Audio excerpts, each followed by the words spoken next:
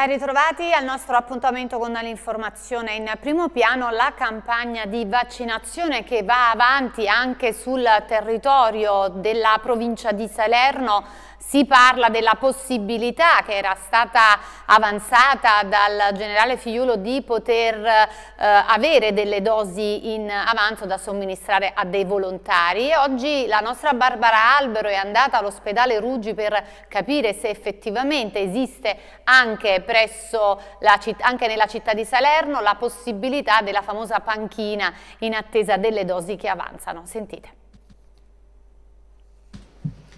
Più del 70% degli over 80 ha ricevuto la prima dose del vaccino Pfizer presso il centro Covid dell'ospedale Ruggi d'Aragona di Salerno, a cui si aggiungono anche altre categorie. Prime somministrazioni ai pazienti risultati positivi al Covid, primi vaccini anche ai pazienti fragili, che da venerdì entreranno a pieno regime nel programma vaccinale del centro Covid dell'ospedale di Salerno.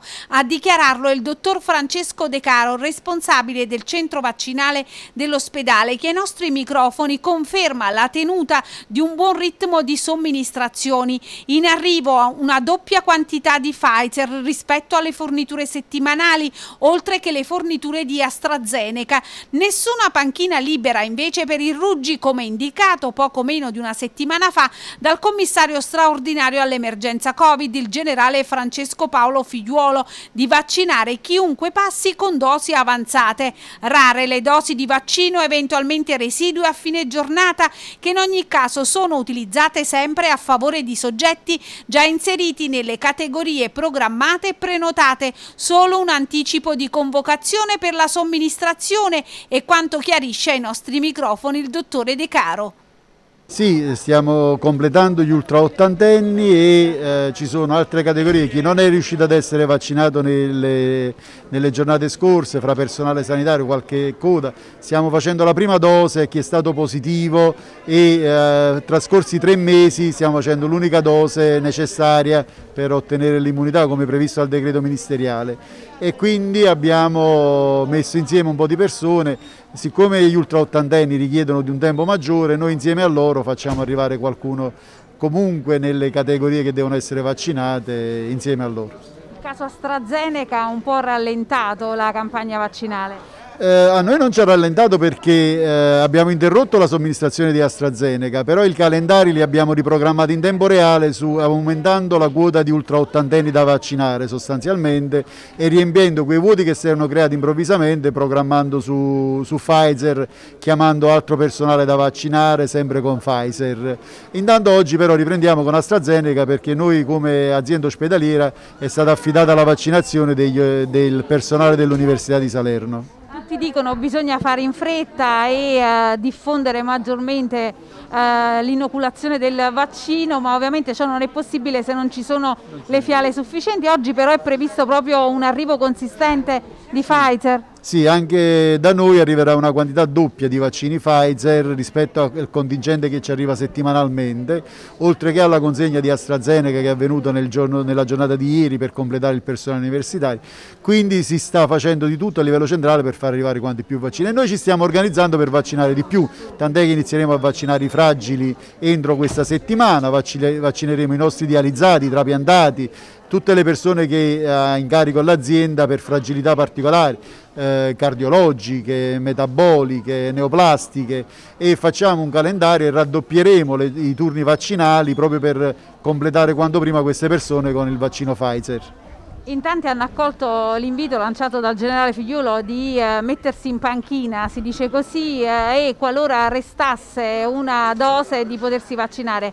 È accaduto anche questo qui a Ruggi? Allora, noi le panchine le teniamo già organizzate, nel senso che eh, riusciamo a eh, chiamare eh, le persone del giorno successivo anticipandone qualcuna se dovesse essere necessario. Qualche rarissima sera è capitata, ma abbiamo già un elenco organizzato, quindi il personale comunque avente diritto, personale sanitario o altro, che sta, quella famosa prima dose che dicevamo prima nessun paziente comune che si presenta no. qui e chiede che qualora restasse una dose di poter no. essere vaccinato? Abbiamo gli elenchi già predisposti, un po' come adesso stanno organizzando in Toscana, noi lo stiamo facendo al primo giorno.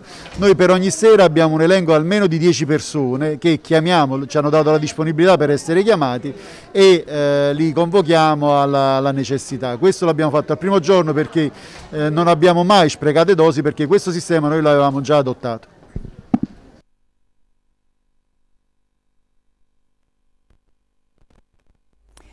Intanto a proposito di vaccini, rispetto ad alcuni articoli di giornale che davano per vaccinati alcuni membri dello staff del governatore della regione Campania, una nota dell'ufficio stampa fa sapere che sin dall'inizio della campagna vaccinale la somministrazione avviene nel pieno rispetto dei protocolli ufficiali secondo le priorità previste dal piano nazionale. Sulla vicenda si registra anche una nota della rappresentante del Movimento 5 Stelle, la vicepresidente del Consiglio regionale Valeria Ciarambino, non ho mai condiviso, scrive la scelta del governatore di vaccinarsi, per questo aspico che si faccia più presto chiarezza sulla eventualità che pur non rientrando in nessuna categoria a rischio sarebbero stati vaccinati dirigenti e funzionari degli uffici di diretta collaborazione del governatore. Ed intanto è rivolta all'indirizzo del Presidente della Regione Campania. La protesta in programma venerdì 26 marzo a Salerno in, um, a Pastena per, in Piazza Caduti di Brescia per chiedere ancora una volta di riaprire le scuole chiedere nell'immediato l'apertura delle scuole e di investire la gran parte dei 20 miliardi di euro già previsti dal Recovery Plan per migliorare la scuola risolvendo i problemi vecchi e nuovi a partire dall'edilizia scolastica ma intervenendo anche per riconnettere gli studenti che hanno abbandonato la scuola e l'obiettivo con il quale i Cobas Scuola insieme a Priorità alla Scuola e al Coordinamento Nazionale Precari hanno indetto uno sciopero nazionale della scuola il 26 marzo. Il coordinamento Scuole Aperte a Salerno terrà il presidio in piazza Caduti di Brescia a Passena a partire dalle 10. La campagna ha raggiunto il triste primato con meno di due mesi di lezioni in presenza, fa sapere una nota, ricordando che in campagna è stata imposta la chiusura delle scuole. Si è scelta la via più facile, si legge nella nota, per le strutture amministrative incapace ma deleteria per le famiglie, gli studenti, soprattutto i più piccoli e i portatori di disabilità. Per il coordinamento le scuole vanno subito riaperte tutte come si sta già facendo in altri stati europei che sono in lockdown e per fermare la crescita del tasso di dispersione scolastica già altissimo anche nella città di Salerno senza ignorare che le difficoltà economiche e sociali delle famiglie accresciute dalla pandemia hanno avuto un ruolo determinante in questi ulteriori abbandoni.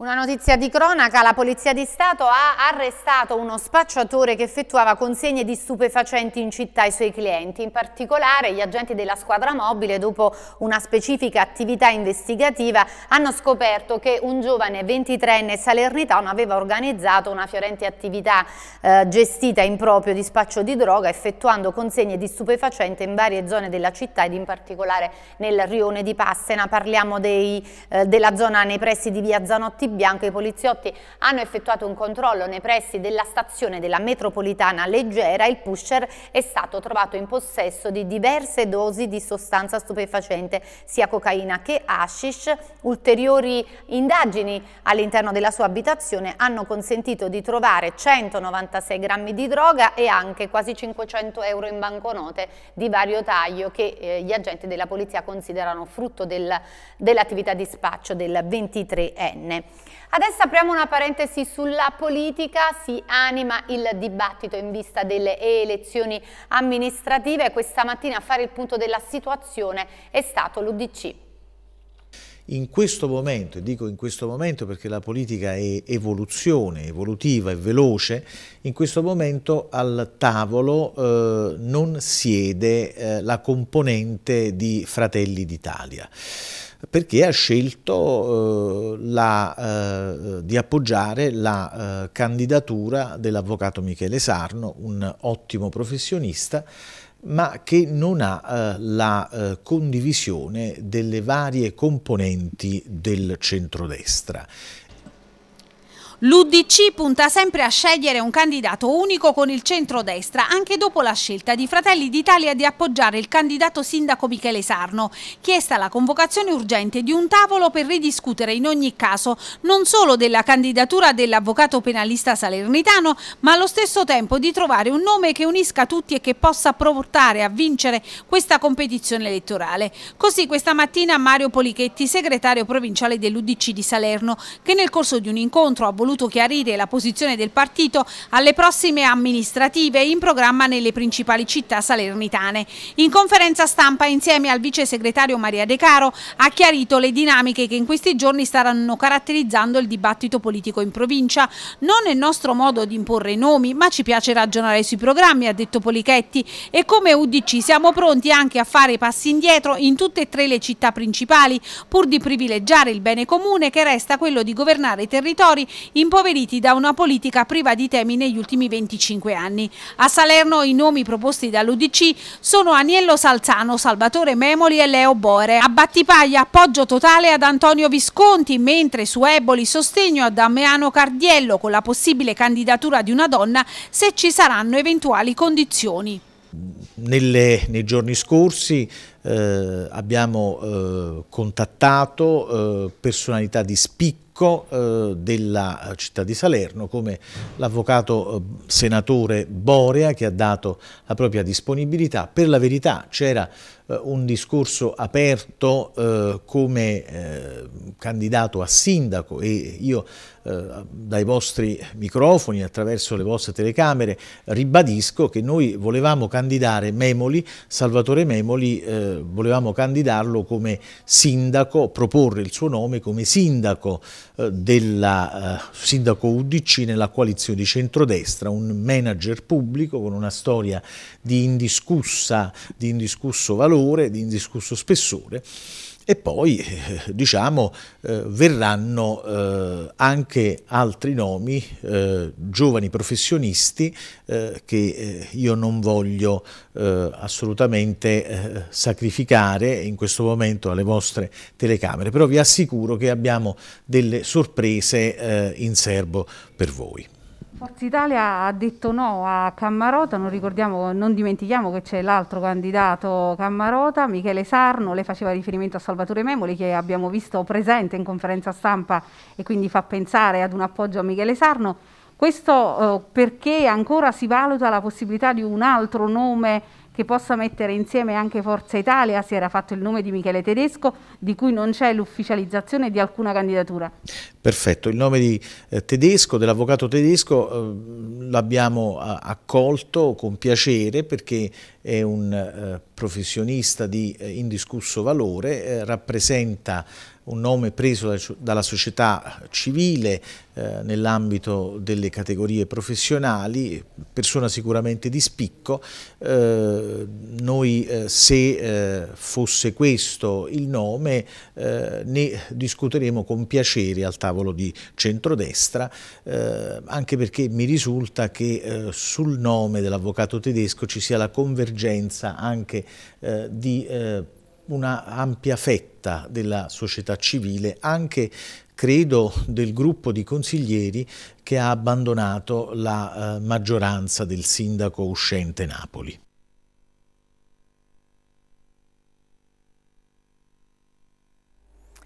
Parliamo adesso invece della, del braccio di ferro che va avanti ormai da anni tra il Comitato Salute e Vita e le Fonderie Pisano. Il comitato, presieduto da Lorenzo Forte, parla di una nuova piccola e importante battaglia vinta, quella per poter accedere alla relazione totale sullo studio spesso, quello relativo alla popolazione residente nei pressi delle Fonderie Pisano.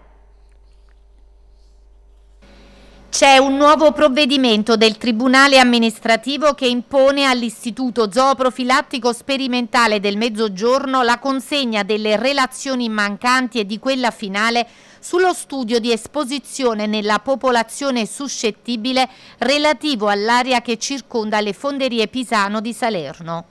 Il Comitato Salute e Vita festeggia e parla di una nuova importante vittoria nella battaglia per fare luce sull'inquinamento e sulle possibili conseguenze alla salute dei residenti. Esprimiamo molta soddisfazione e siamo fiduciosi, ha dichiarato Lorenzo Forte alla guida del comitato. Nei prossimi giorni potremo entrare in possesso di tutta la documentazione che rappresenta un tassello fondamentale che ci permetterà come associazione insieme al comune di Pellezzano di conoscere tutta la verità sull'inquinamento. Il Comitato ha colto l'occasione per stigmatizzare nella stessa nota l'atteggiamento di alcune istituzioni. L'ASL, pur firmataria del protocollo d'intesa dello SPES, dal 2017, scrive il Comitato, non ha mai chiesto né fatto pressioni per avere i risultati dello studio SPES ma critiche sono state rivolte anche alla Regione Campania che nell'aprile del 2020, come ricorda il Comitato Salute e Vita in pieno lockdown, ha concesso l'autorizzazione integrata ambientale con la quale ha permesso alle fonderie di continuare a restare aperte. Critiche anche al comune di Salerno che non ha mai fatto dichiarazioni né pressioni per avere tali risultati nonostante la legge lo configuri come primo responsabile per la salute dei suoi cittadini. Dall'altro canto va però ricordato che le istituzioni tirate in ballo dal Comitato in maniera congiunta dieci giorni fa hanno tenuto una riunione con i vertici dell'azienda per mettere nero su bianco i presupposti per delocalizzare lo stabilimento industriale nell'area di Buccino. La nascita della nuova fabbrica potrebbe rappresentare, al netto dell'opposizione forte che si sta già registrando nell'intera area del cratere individuata per il nuovo stabilimento delle fonderie Pisano, l'unica vera soluzione per comitato e residenti di Fratte.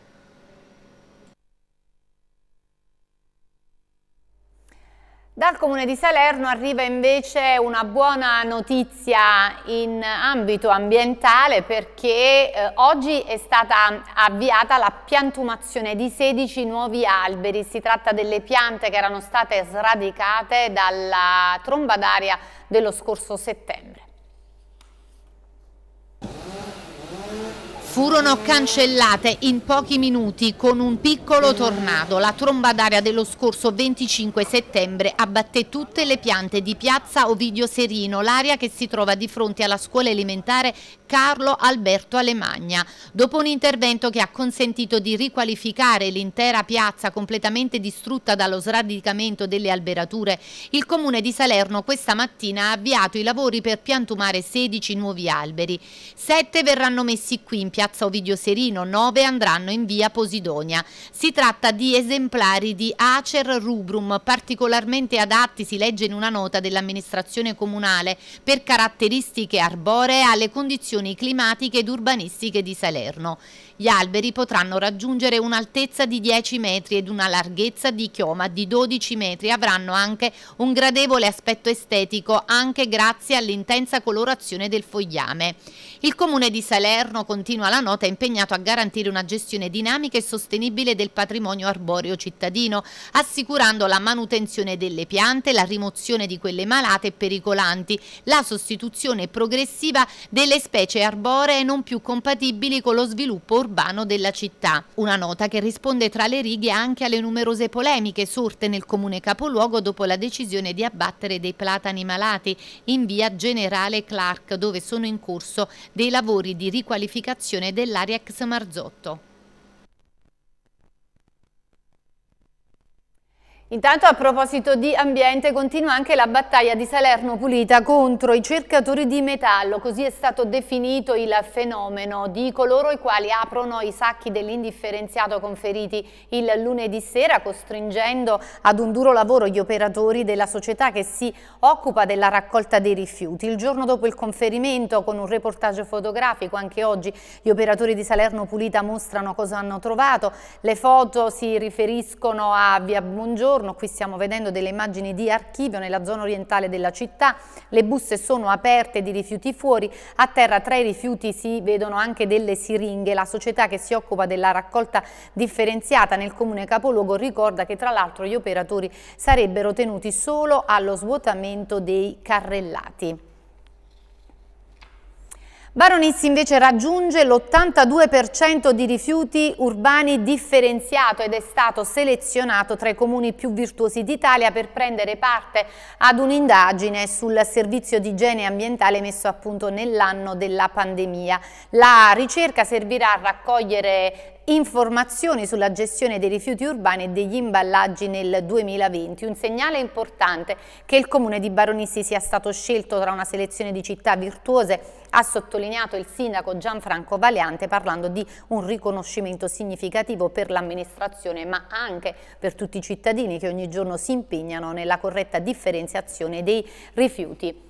A proposito di ambiente andiamo a Vietri sul mare, botta e risposta tra, tra il sindaco ed un gruppo di consiglieri sulla possibile installazione di un'antenna per la telefonia mobile. A Vetri sul mare torna in auge la polemica relativa all'inquinamento elettromagnetico che interessa in particolar modo la frazione di Dragonea. Nei giorni scorsi i consiglieri di opposizione del gruppo L'Alternativa, Maurizio Celenta, Antonella Scannapico, Alessio Siedetillo e Antonietta Remondi, hanno protocollato un'istanza presso il comune richiedendo l'adozione di misure di pianificazione comunale affinché sia regolata l'esposizione dei cittadini ai campi elettromagnetici generati dagli impianti di radio e telecomunicazioni presenti sul territorio. Secondo i consiglieri comunali di minoranza, il comune lo scorso mese di gennaio avrebbe autorizzato l'operatore telefonico Iliad all'installazione di un alloggio di impianti in via Vallone alla frazione di Dragonea per la fruizione del segnale di telefonia mobile. Tale richiesta di autorizzazione, sostiene ancora il gruppo L'Alternativa, non sarebbe stata accompagnata dalla documentazione idonea a comprovare il rispetto dei limiti di esposizione alle emissioni elettromagnetiche previste dalla legge. Constatato che tali impianti sono presenti in numero elevato sul territorio, con alta concentrazione proprio a Dragonea, i consiglieri chiedono l'adozione di un regolamento o di un piano comunale tecnicamente valido che assicuri il corretto insediamento urbanistico e territoriale degli impianti, e riduca l'esposizione della popolazione ai campi elettromagnetici, prevedendo l'installazione di centraline per monitorare le emissioni il censimento degli impianti già presenti sul territorio e la necessità di riesaminare i siti già autorizzati prevedendo delle localizzazioni in base al piano successivamente approvato. E sulla vicenda non si è fatta attendere la replica piccata del sindaco Giovanni De Simone, il quale ha fatto sapere che al momento non è stata rilasciata alcuna autorizzazione da parte del comune, ma che si tratta soltanto di un aggiornamento tecnologico di un impianto esistente della Wind 3 autorizzato nel 2006 con parere della sovrintendenza su un terreno privato e che è stata presentata istanza di svincolo idrogeologico alla comunità montana. La pratica deve essere ancora esaminata dalla commissione edilizia e poi, nel caso di bocciatura, sarà necessario il parere della sovrintendenza e poi dell'ARPAC. Soltanto dopo la conclusione dell'iter la comunità montana potrà rilasciare eventualmente lo svincolo idrogeologico. La maggioranza ha commentato il sindaco De Simone e attenta a questi problemi ed è pronta ad aprire un confronto anche con la minoranza al fine di trovare il metodo migliore per poter garantire il monitoraggio del territorio per quelle che sono le situazioni legate agli impianti di telecomunicazione. Arriva all'attenzione del ministro Di Maio la vicenda che riguarda un papà di Teggiano da due anni impossibilitato a vedere la figlia portata in Russia dalla mamma. A sollecitare un intervento del governo italiano è stato il consigliere regionale Tommaso Pellegrino. Un padre che non può riabbracciare la sua bambina, la bimba contesa tra genitori di diversa nazionalità. Un uomo di Teggiano, Luigi Di Salvio, da oltre due anni non vede la sua bimba portata via dalla madre di origini russe che è tornata nel suo paese. Nel settembre del 2018 la piccola cittadina italiana era partita insieme alla mamma per una vacanza, per poi sparire nel nulla senza che il suo papà potesse ricevere notizie della piccola né tantomeno riabbracciarla, costringendo il genitore teggianese a rivolgersi all'avvocato Enrico D'Amato per aiutarlo a riportare a casa la piccola. Su questa vicenda è intervenuto il consigliere regionale Tommaso Pellegrino che ha chiesto l'intervento del ministro degli esteri Di Maio affinché si impegni per ottenere il rimpatrio della bimba. In qualità di padre e consigliere regionale in Campania, scrive Pellegrino, sento il dovere di porre all'attenzione la delicata vicenda del nostro concittadino Luigi Di Salvio di Teggiano in provincia di Salerno che sta vivendo da due anni una drammatica situazione di ingiustizia in Russia. Situazione molto grave se pensiamo che la prima vittima è una minore di soli 4 anni, cittadina italiana, che si trova dal mese di settembre 2018 in Russia, dove la sua ex moglie russa l'ha portata e poi trattenuta senza il consenso del padre. Il consigliere regionale sassanese spiega nella nota indirizzata al ministro degli esteri che le autorità russe e la Suprema Corte russa hanno riconosciuto il reato di sottrazione di minore. Nonostante ciò, la polizia giudiziaria russa non è stata ancora in grado di eseguire le disposizioni della sentenza, operazioni ulteriormente bloccate con il diffondersi della pandemia. In un anno e mezzo, si legge ancora nella lettera, da quando ha preso avvio la fase esecutiva in Russia, l'interessamento delle autorità consolari italiane si deve concludere che è stato sostanzialmente inefficace. L'ordine dato dal giudice russo è chiaro e sono chiari altresì i dettami degli accordi bilaterali tra Italia e Russia in tema di cooperazione legale e giudiziaria. Da qui la richiesta del consigliere regionale Pellegrino rivolta a Di Maio affinché vengano interessati tutti gli organi competenti a tutela dei diritti di un padre italiano di rivedere la sua bambina e poter così procedere al rimpatrio della piccola. Adesso ci sono le nostre previsioni del tempo.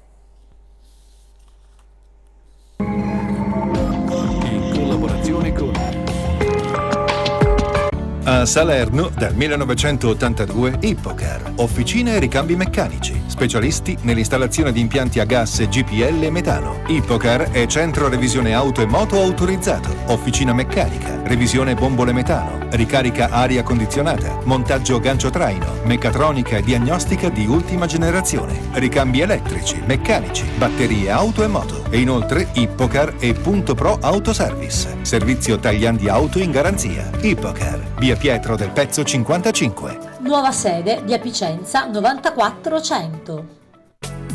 Previsioni per domani. Al mattino, sulle coste, bel tempo, con cieli sereni. In montagna, cielo nuvoloso, con solo qualche breve schiarita. Nel pomeriggio, sulle coste, cielo nuvoloso, con solo qualche breve schiarita. In montagna, cielo nuvoloso, con solo qualche breve schiarita. Previsioni del tempo, fornite da 3B Meteo. Eccoci alla parte del nostro TG che riguarda l'informazione sportiva, in primo piano il calcio con la Serie B che tira eh, fiato prima della volata finale. Dopo la Saosta ci saranno otto partite in poco più di un mese. La Salernitana comincerà da Lecce, lo sprint di primavera in cui saranno in palio promozione diretta e posti nella griglia playoff.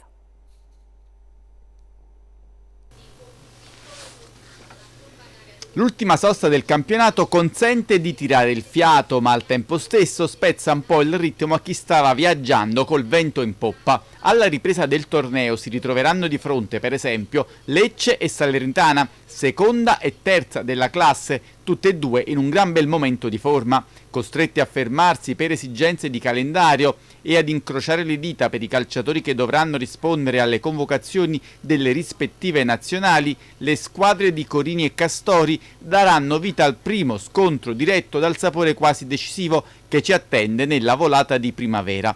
La Salernitana giocherà al Via del Mare il 2 aprile per poi affrontare in casa Pasquette il Frosinone che ha esonerato Nessa per far posto a Grosso. Successivamente la squadra granata renderà visita alla pericolante Virtus Entella per poi ricevere all'Arechi nel breve volgere di pochi giorni il Venezia ed il Monza, al momento quinta e quarta forza del campionato. Nelle ultime tre partite in calendario la Salernitana sarà di scena a Pordenone poi riceverà l'Empoli e chiuderà infine sul campo del Pescara. otto tappe da affrontare senza fare troppi calcoli perché scontri diretti ed incroci pericolosi potrebbero di volta in volta delineare scenari che al momento non si possono immaginare. Di sicuro a Lecce sarà una partita di grande importanza a cui la Salernitana dovrà arrivare preparata nei minimi dettagli. La solidità difensiva dei Granata e la prolificità offensiva dei Salentini promettono già tanto. La prima delle ultime otto tappe potrebbe essere anche la più importante. Lasciamo il calcio, ci occupiamo di basket. Domani la Givova Scafati chiuderà la stagione regolare con il recupero contro Ferrara. La gara è in programma al Palamangano, la squadra di Finelli vuole vincere per chiudere in bellezza la prima parte della stagione. Sì, siamo contenti di questo ruolino che abbiamo avuto negli ultimi mesi, soprattutto in queste partite ravvicinate. Domani sarà la sesta in 17 giorni e mm, penso che la squadra sia sempre scesa in campo in maniera eccellente. Contro Napoli è stata una partita eh, difficile dal punto di vista offensivo, ma credo che alla fine la partita ha dimostrato che ce la siamo giocata alla parissima e, e ora ci mancano queste ultime due partite per completare questa prima parte di stagione, secondo me molto buona. Sì, domani sarà una partita tosta contro una squadra che torna da un periodo lungo di stop.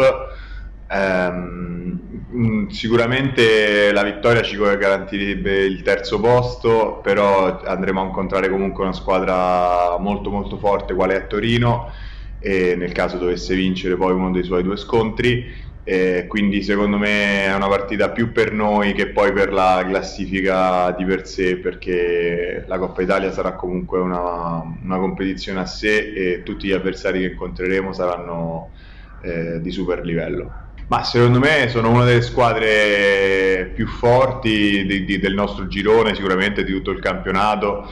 Hanno un reparto lunghi italiano che poche squadre possono eguagliare eh, io ho giocato insieme a Patrick Baldassarre, ho giocato insieme a Luca Vencato, sono giocatori di, di, di altissima caratura, secondo me una delle, delle, squadre, come ho detto, veramente, veramente forti. Hanno avuto qualche inciampo durante il campionato, eh, vuoi per eh, loro demeriti o vuoi per eh, sfortune fisiche, e, ma credo che avranno una, diranno la loro durante i playoff che da qui alla fine insomma eh, ci sono ancora tante partite da giocare e secondo me potranno essere veramente la mina vagante dei, dei playoff.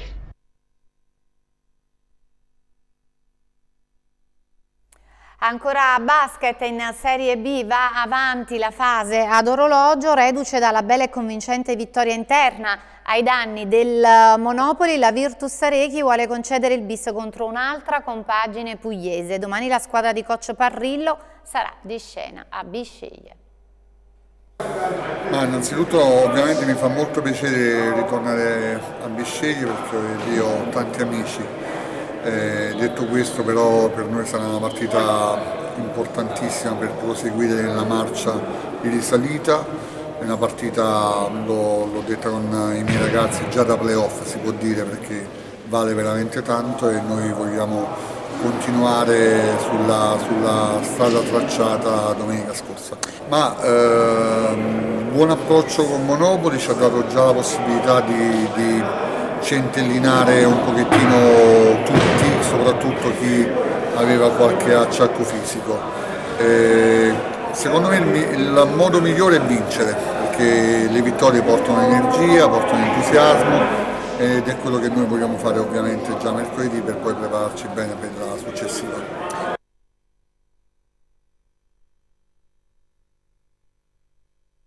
Termina qui il nostro appuntamento con l'informazione, non mi resta che ringraziarvi per essere stati con noi. Arrivederci.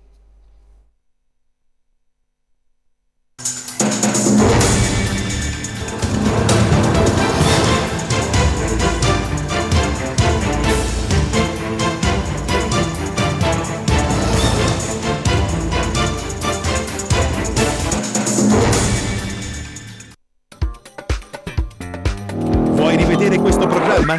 Visita il nostro sito tvoggisalerno.it e clicca su TV Oggi On Demand.